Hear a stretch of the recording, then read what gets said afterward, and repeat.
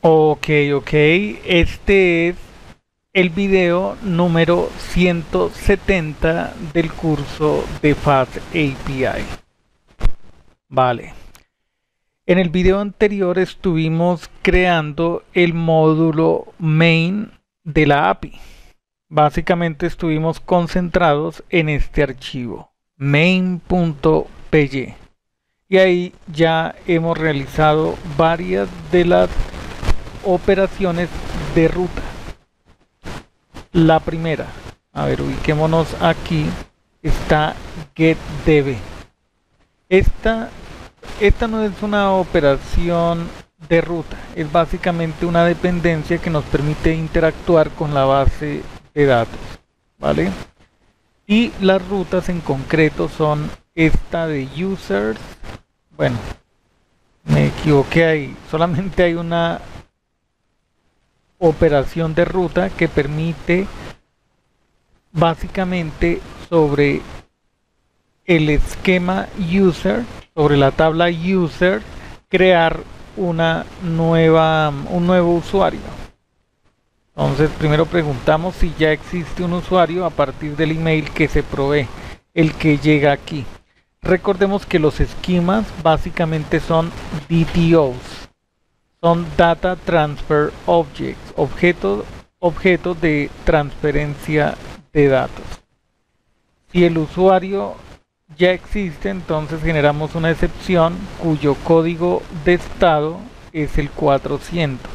Y el detalle de la excepción será que el email que se proveyó es, ya está registrado. En inglés dejamos email already registered. Bien, si ese usuario no existe, entonces utilizamos create user, que es una de las funciones definidas en el CRUD, en el archivo CRUD.py. Pasamos la conexión a la base de datos y el usuario que queremos crear. Hasta ahí todo bien. Mm, vale, entonces tenemos create user, concentrémonos en get user. Es de tipo get, es una ruta de tipo get. Básicamente lo que te va a retornar es una lista de objetos user y son objetos de esquemas. Son nuevamente los famosos DTOs. Aquí hay un problema porque esto es list todo en minúsculas.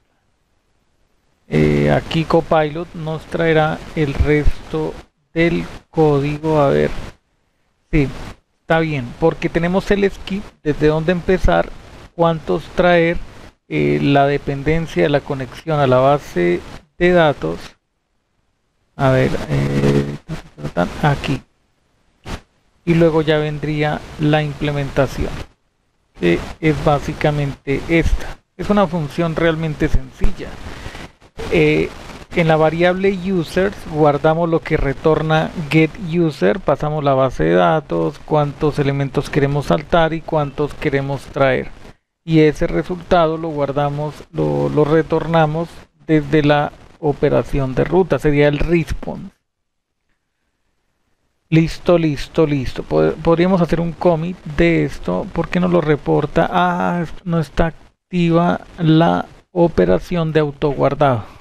Ahora sí. Entonces este archivo irá en el repositorio operación de ruta para... Eh, hay error aquí. O este rojo de que hay un rojo. Tan, tan, tan, dev. Ah, aquí no van estos dos puntos. Ya. Ahora sí. Vale, eh, indiquemos. Em, operación, operación de ruta para obtener cierta cantidad de usuarios. Control Enter, control, bueno, el control P eh, lo realizaré aquí.